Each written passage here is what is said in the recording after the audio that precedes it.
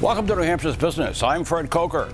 New Hampshire's electricity landscape is changing significantly as I speak, and one of those changes is having an impact on cost. We'll get to that in a moment with my guest, but first, here is what is generating our electricity in New Hampshire now.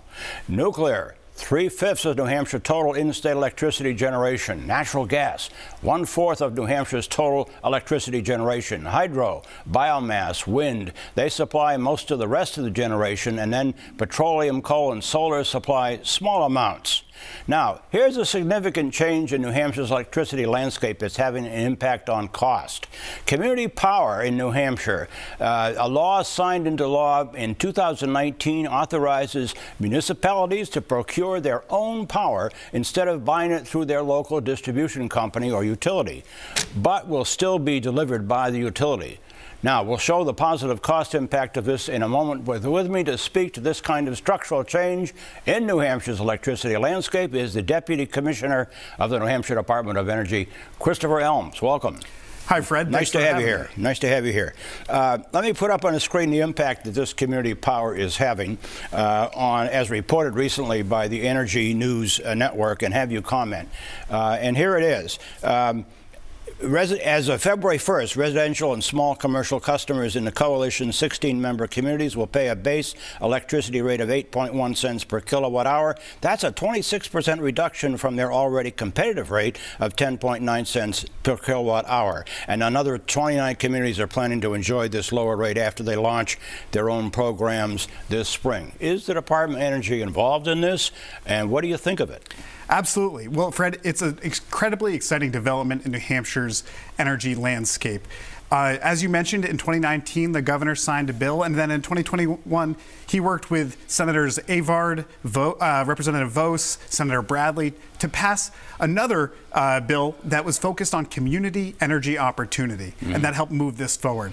Uh, so, what this was focused on was towns having local control of their energy mix. Yep. Some towns want to focus on renewable energy, others want to focus on the lowest price. What's great for consumers is that they ha now have options, and uh, we're really excited to see how so you work with these communities that are buying their own power? Absolutely. Yeah, so the Department of Energy gets involved in the PUC proceedings and helps work with uh, community power, with towns, with, with citizens as they go through this exciting development. Now, the city of Dover launched community power last October, just as one example.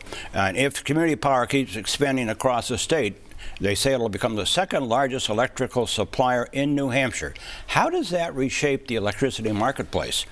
Uh, yeah, it's a great question, and it's a natural progression of the uh, electric restructuring that New Hampshire and New England has gone through since the, the late 90s. Um, uh, what's really good here is that it's options for consumers, right? There's competition. Competition means better outcomes and lower prices. So um, we're seeing it as a real opportunity for, for people, whether they want to be on community power, whether they want to be on their utility default service, or if they want to find a different competitive supplier to find options that work for them. Are the utilities losing out on this at all? Nope. Uh, so utilities right now, because we split apart their delivery of electricity from the supply of electricity, right now their supplying electricity is a pass-through. For them, they're going to still be doing what they're good at, right? De uh, delivering that power it's just another option for consumers about what the electrons that they're going to buy that come down the wires.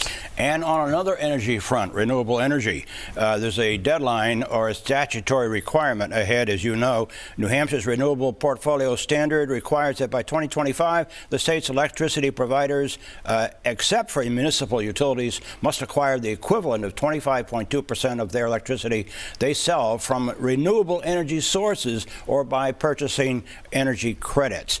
Is New Hampshire going to meet that uh, statutory requirement? Yeah, they sure are. So the Renewable Portfolio Standard uh, really is a requirement that electric suppliers are able to uh, purchase um, renewable energy from one of five different buckets or classes of technologies, or they can make alternative payments that are used to incentivize new technologies. Yeah. However, once we get to 2025, the question is where do we go from here?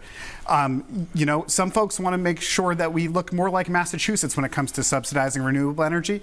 Um, the thing that they always leave out when talking about Massachusetts is the cost. Right now, Massachusetts ratepayers are paying 50% higher rates than their counterparts here in New Hampshire. In 2021, Massachusetts spent over a billion dollars on their renewable mandates. Uh, we want want to focus on the ratepayer and see if we can do this smarter.